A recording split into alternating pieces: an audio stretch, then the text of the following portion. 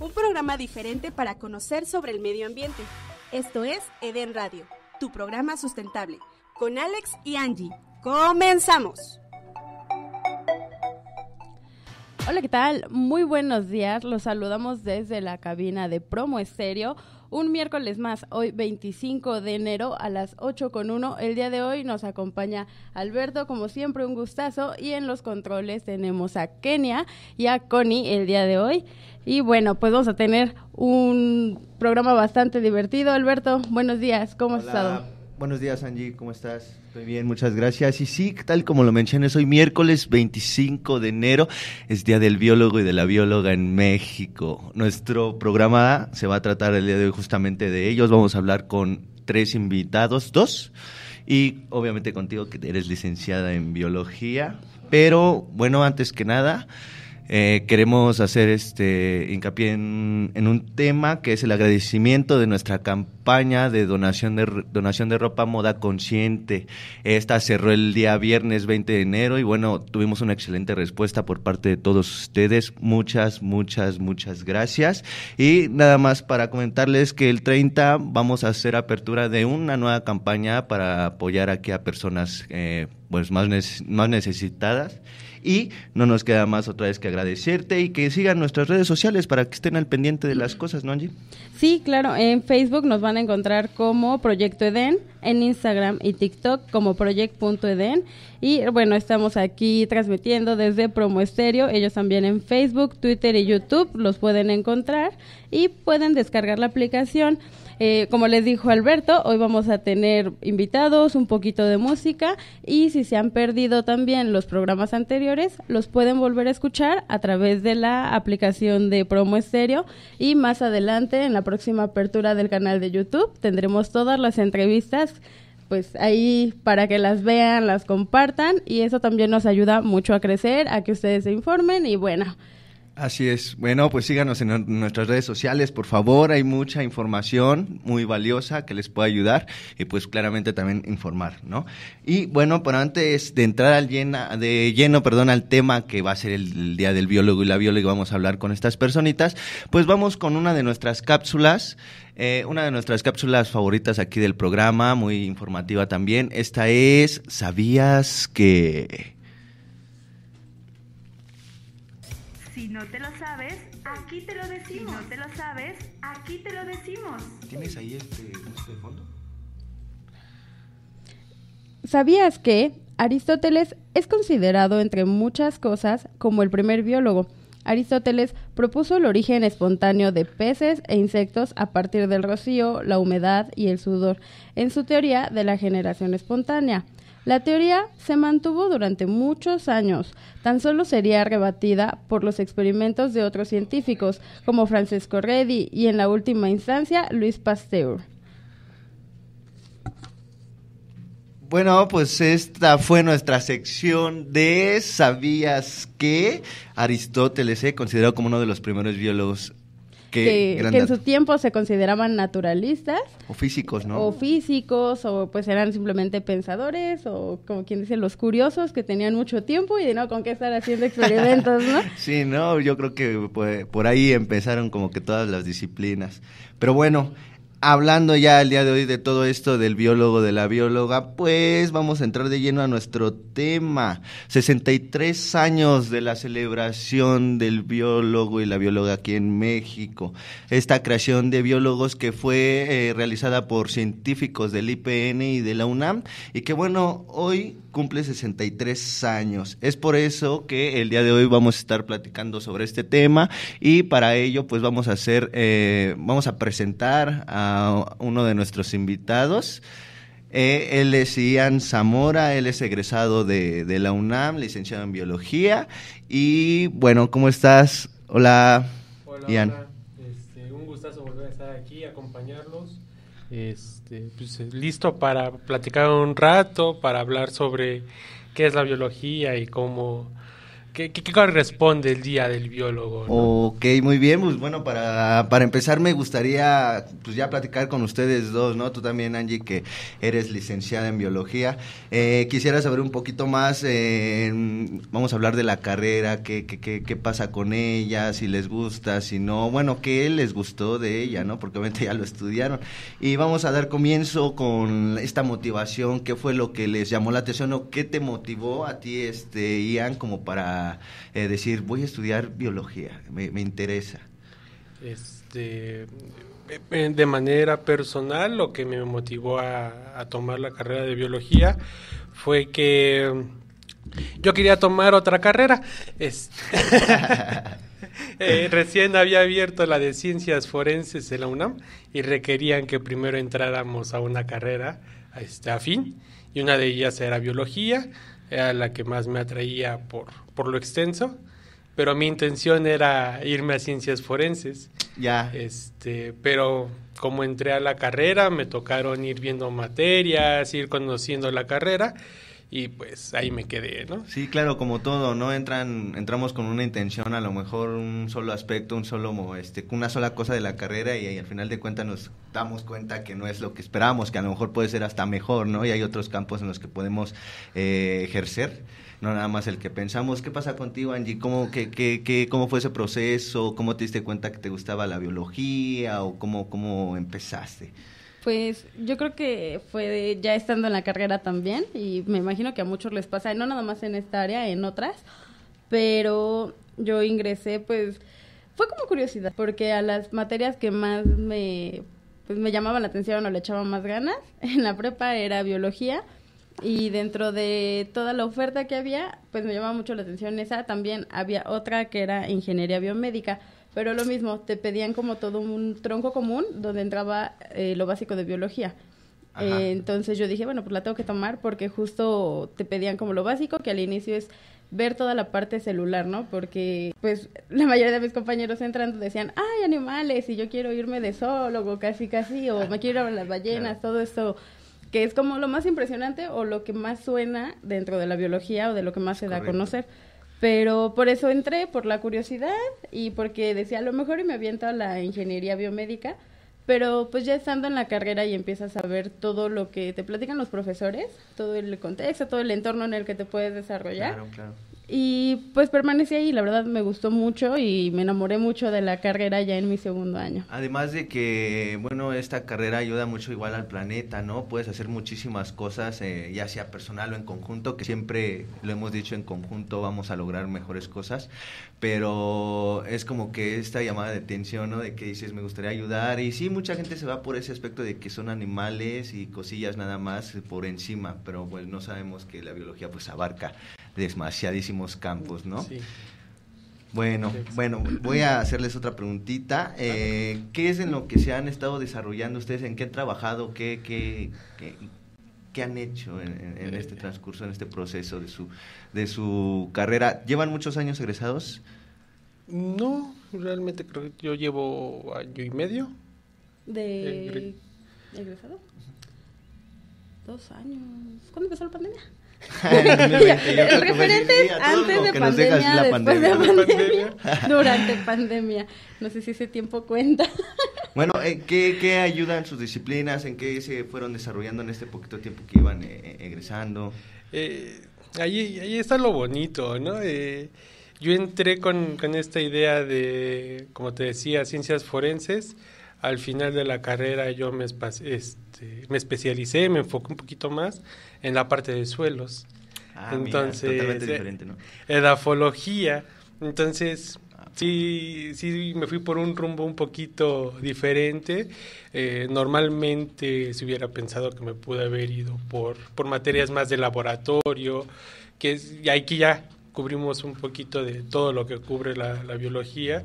Pues nos, me pude ir a estudiar virus, me pude ir a estudiar toxinas, me este, venenos, eh, bacterias, todas estas, este, o biogenética, análisis clínico, este, un poquito más en esta parte de análisis, ¿no? Pero me terminé yendo a- al campo. sí, así pasa, es como te digo. Ah, tú, Angie, eh, quisiera que me contaras con todos estos conceptos que menciona Ian, eh, que para nosotros pues, son a veces como que difíciles de entender, biogenética, este, bioquímica, no sé, varios, es- varios con- ¿Qué, qué es lo más difícil de la carrera para ti en lo que te especializaste, en lo que te estás especializando? O en general, ¿qué es la, como para ti lo más difícil de la carrera de biología? Pues a mí ya de manera particular, lo que fue la biología celular, o sea, que es lo primerito con lo que inicia, era algo que se me complicaba un poquito. Eh, era algo que sí se me complicaba un poco, me costó mucho trabajo, pero al final es la base de todo porque en el área que te vayas ahí eh, puedes aprovechar o ver esa parte celular. La tienes que entender porque al final va de lo micro a lo macro, ¿no? Claro. Estudiamos la vida, o sea, es lo que siempre dicen, ay, biología vas a estudiar la vida, sin saber a lo mejor la definición y meterte tanto en filosofía Sí, de la claro. definición de qué es la vida, pero sí el funcionamiento, cómo el entorno interactúa y mueve a lo mejor el comportamiento e incluso las reacciones que pueda tener pues un organismo, un ecosistema, una población y pues a mí sí de entrada te digo lo celular era como lo más complicado. Ya después yo me quise ir dirigiendo un poco más hacia ecología hacia recursos naturales y la parte pues como de legislación de normativas y esta pues esa sección que al parecer en México y en muchos países les vale para hacer muchas cosas. pero pues los caminos de la vida te terminan llevando siempre a otras cosas y ya en el campo laboral pues ahorita nos encontramos con la asociación haciendo proyectos socioambientales Claro. sí, sí, sí. entonces ahí pues ya entran muchas más cosas que dentro de la formación o la parte académica a veces no te imaginas. Me imagino a muchos compañeros era como de, ah, pues me voy a ir a un zoológico o cosas de laboratorio, cosas muy interesantes, Claro. pero ya a la hora de aplicarlo terminas viendo que puedes hacer otro montón de cosas, ¿no?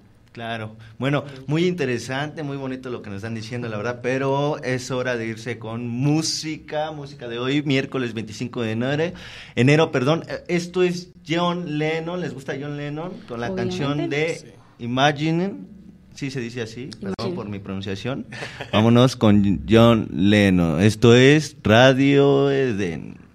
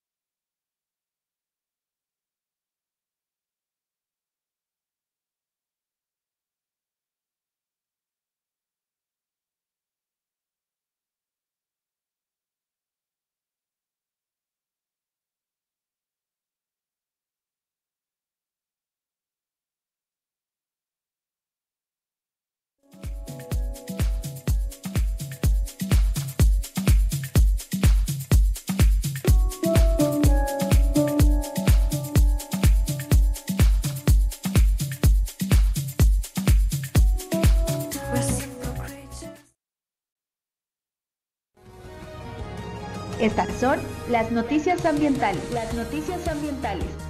Infórmate con Radio Edén.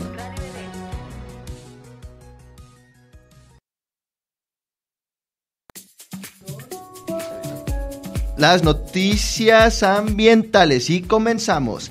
México es considerado como uno de los lugares más peligrosos para las personas defensoras del ambiente, de acuerdo con el informe de Global Witness publicado en septiembre de 2022. Entre 2012 y 2021, el país registró 154 agresiones letales en contra de personas defensoras.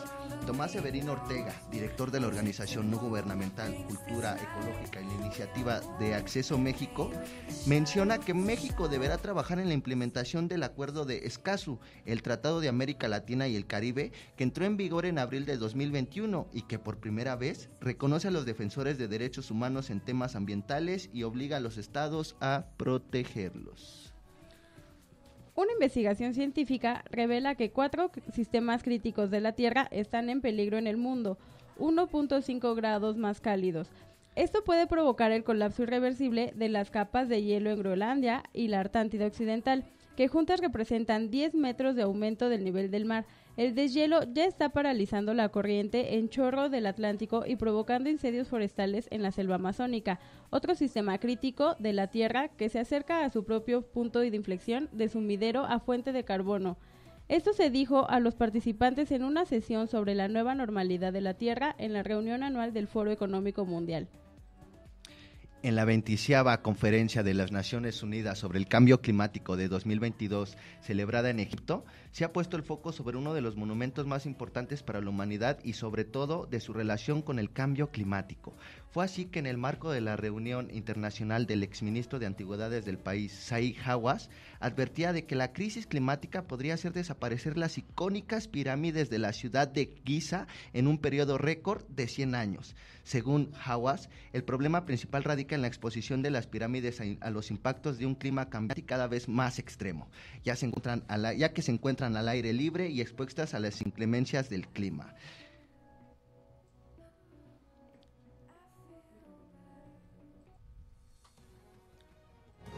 Estas son las noticias ambientales. Las noticias ambientales. Infórmate con Radio Edén.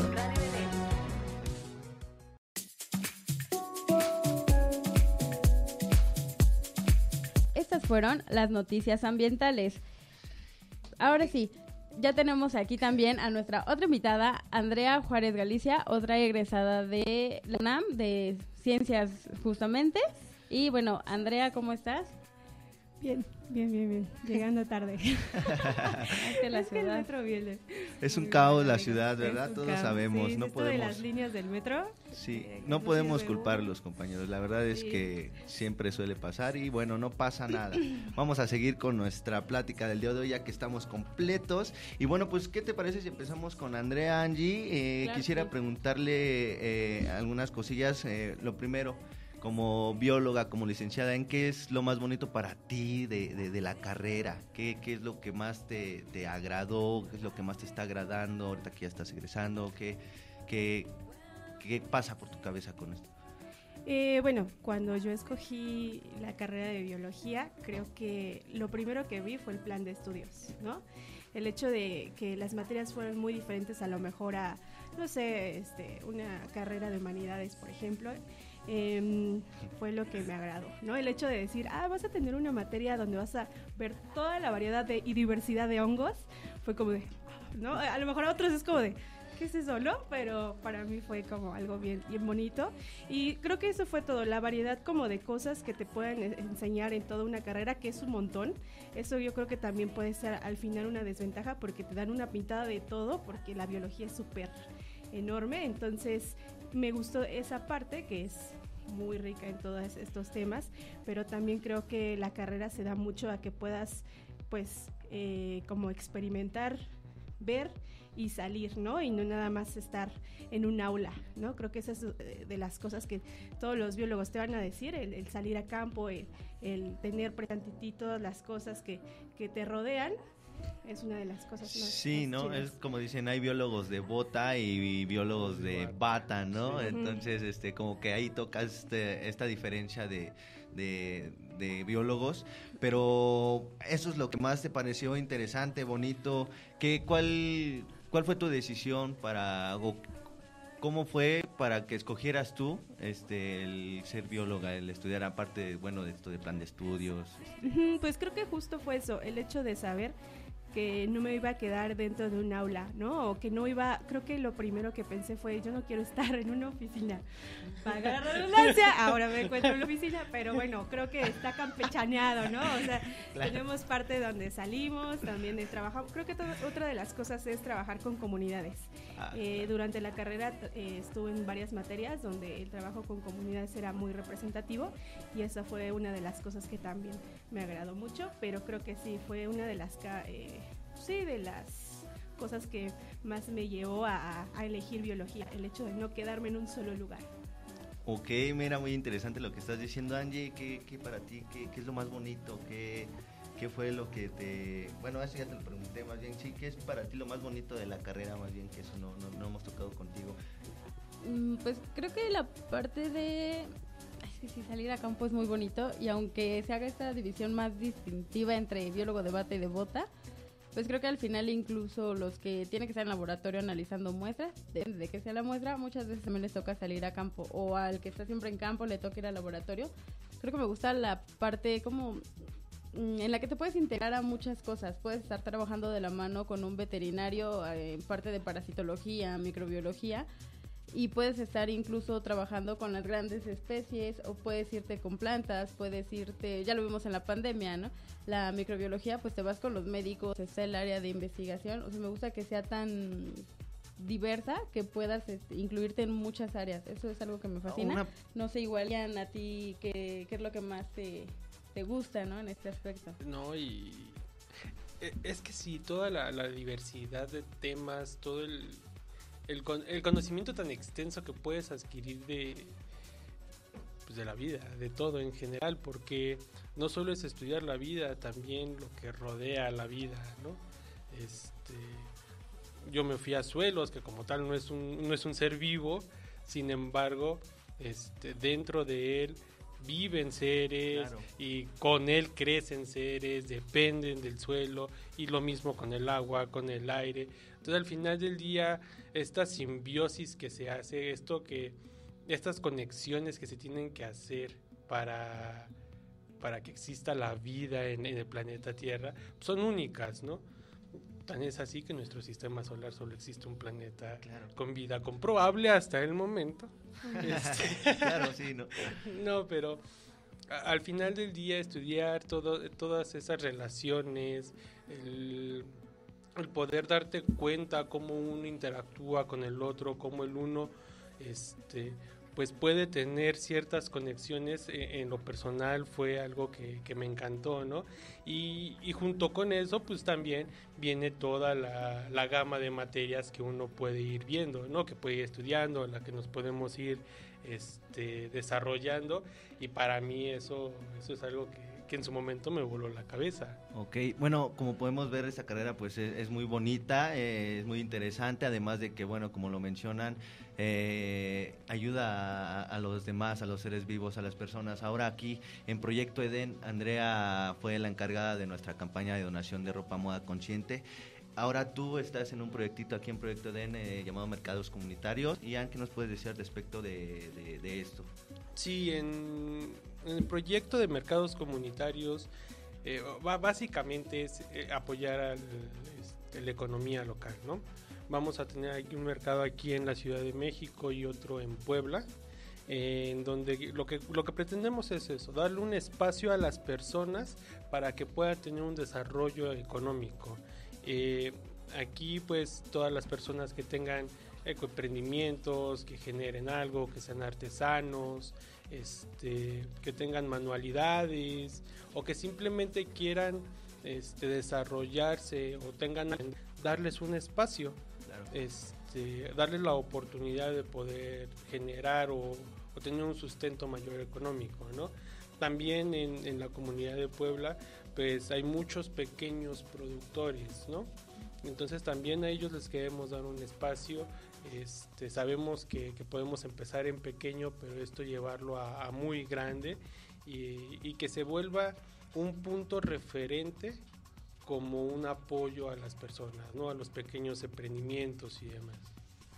E- ese es un poquito de, de lo que queremos lograr con, con los mercados comunitarios y ya este 11 tendríamos, este 11 de febrero, tendríamos nuestro primer mercado comunitario en la ciudad este, de México, ahí en la colonia Hipódromo. Muy bien, muy bien, esto este, es muy interesante amigos, pues, pues es por eso que les pedimos que estén atentos a nuestras redes sociales, porque bueno, eh, agradeciendo nuevamente que fue nuestra campaña de donación de ropa, eh, se viene esto de mercados comunitarios y como les mencioné al principio, pues el día 30 se hace apertura de una nueva campaña de donación, estaremos eh, hablándoles en redes sociales justamente de esto, les pedimos que estén muy atentos y Angie, ¿qué te parece si vamos rapidísimamente con música?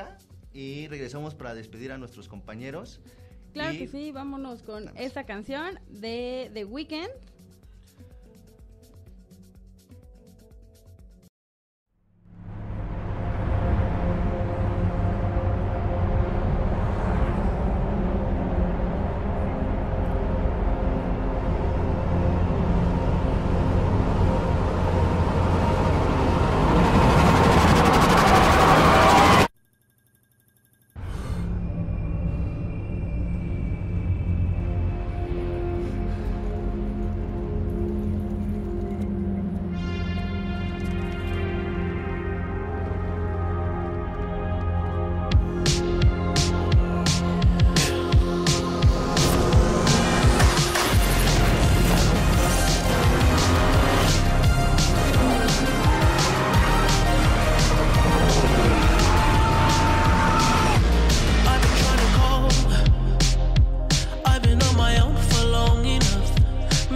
Can show me how to love. Maybe